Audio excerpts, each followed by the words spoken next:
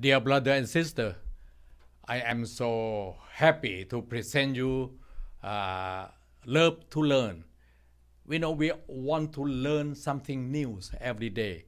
So today, Love to Learn, what are we going to learn? Let's see.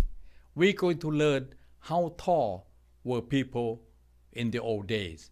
When I said in the old days, like, you know, uh, many, many years, hundred years, thousand years ago, in the we found the uh, in the book of Bible, and uh, we know that uh, the the basketball player, the tallest uh, at present time, is what is 7.2, 7.3, maybe the most.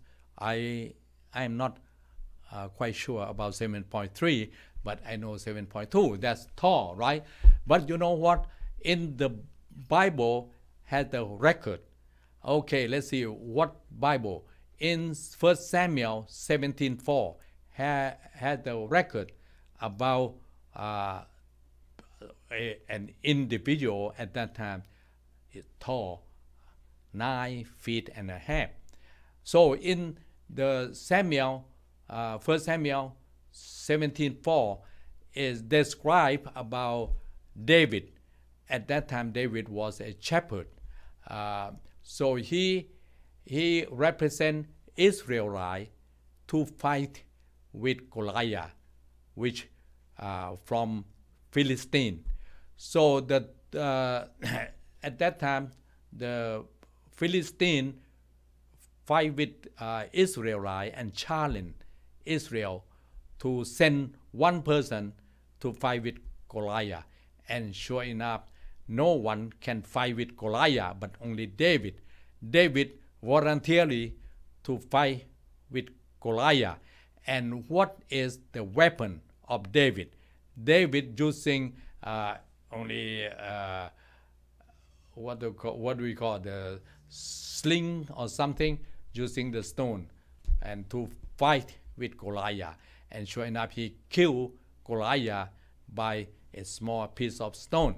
And then Goliath, according to the scripture, saying that Goliath, big, huge, nine feet and a half.